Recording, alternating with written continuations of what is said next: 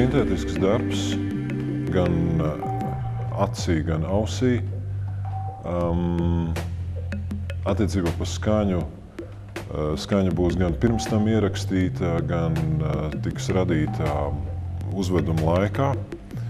Un šīs te abas divas pasaules, iepriekš radītā un tā, kas notiek šeit un tagad, tās savstarpēji miedarbosies.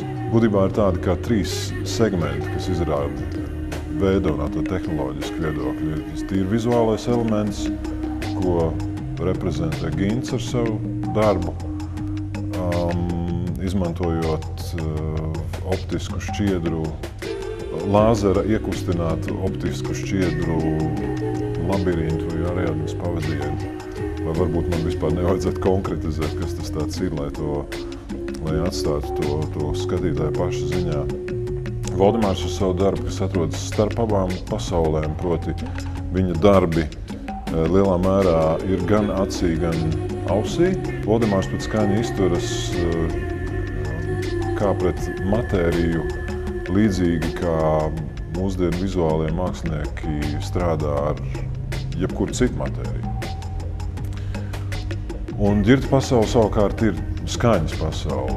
Un tad no šīm te trim, no šiem trim pamatelementiem arī sastāvēs mūsu darbs. Mēs, protams, nepretendējam uz to, ka mēs eh, atklāsim šo mītu visā tā daudzpusībā un, un, un daudzslāņainībā. Mēs arī negrasamies pārstāstīt uh, mītu sižetu jo pieņemam, ka lielākā daļai skatītāju un klausītāju ir pašiem kaut kāds priekšstats par to, kas, kas šī stāsta ietvaros notiek. Tā mūsu interese ir domāt, kontemplēt, apcerēt dažas no tām idejām vai dažas no tām sajūtām, kuras mīts mūsos kā izraisa vai, vai, vai atraisa vai, vai uzkurina. Varbūt man nebūtu tik vienkārši pateikt, ka tā ir tikai mūzika, ko es esmu radījis. Uh, tikpat labi tie ir arī trokšņi, varbūt tie ir skaņa efekti, varbūt tā ir uh, apstrādāta skaņa, bet tā ir tikai skaņa, un es arī esmu priecīgs, ka es to tā varu nosaukt, ka es esmu radījis skaņu šim darbam. Kad mēs sākām eh, ar visu to darboties kopīgi ar eh, Valdemāru un eh, Kasparu un Gabrānu kungu, tad tas Minotaurs bija kā tāds centrālais kaut kas, ap ko tas viss grozījās. Pilnīgi atklāt runājot, es nevarētu teikt, ka es ļoti varētu, ja tā kā ir, teiksim, kino, tu aizies kino un var identificēties ar kaut ko, un tad tev tas kļūst ļoti tūs. Neteiktu, ka tas man būtu kaut kas tāds,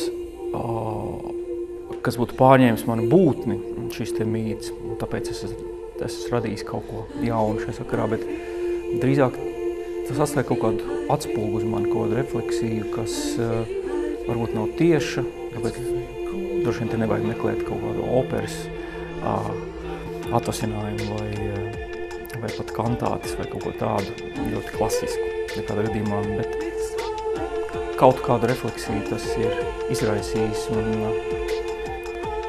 un esmu centies to kaut kādā veidā arī realizēt tā, kā man tas ir licies labs esam.